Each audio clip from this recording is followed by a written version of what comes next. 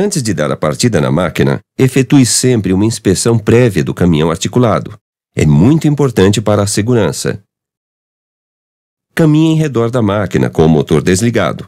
Verifique se há vazamentos ou peças soltas e se a condição dos pneus é satisfatória. Verifique se a trava da direção foi removida após a conclusão do serviço ou transporte da máquina. Se a máquina for um modelo com suspensão total, não se esqueça de verificar o barramento da suspensão. Não tente ativar a suspensão total se a máquina estiver amarrada com cintas ou caso haja pessoas perto dela.